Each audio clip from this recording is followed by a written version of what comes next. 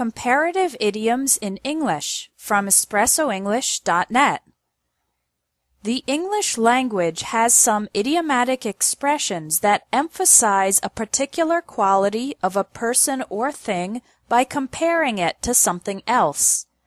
For example, imagine you buy a new laptop computer which is extremely thin and light. When describing the laptop, you can say, it's as light as a feather. Comparing your laptop to the feather emphasizes the fact that it is extremely light. Here are five comparative idioms with interesting definitions and origins, and at the end of the lesson, take the quiz to discover 12 more of these idioms. Idiom 1. As clear as mud. This idiom means something is confusing or not very clear. Mud is the combination of dirt and water. Mud is brown. It is not clear or transparent. So if something is as clear as mud, it means it is not very clear. Idiom 2. As happy as a clam. If someone is as happy as a clam, they are very happy. A clam is a type of shellfish that lives on the beach. The original expression was as happy as a clam at high water. High water is when the ocean level increases and the water covers the beach, protecting the clams from predators, other animals that could eat them.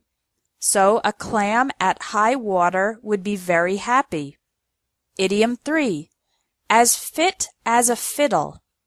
Describing someone as fit as a fiddle means the person is in excellent health and excellent physical condition.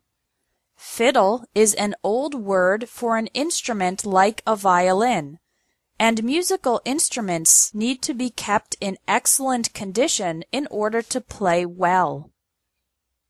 Idiom 4 as exciting as watching paint dry. This idiom means something is extremely boring. It is not exciting.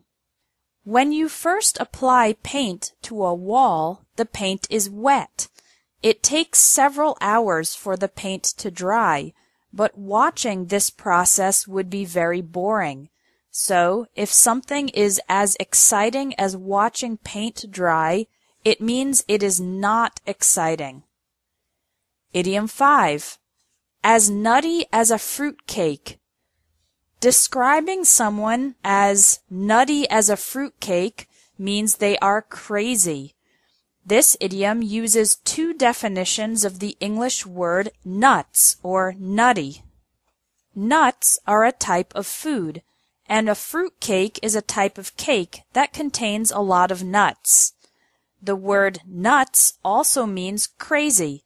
So if a person is nutty as a fruitcake, it means they are really crazy.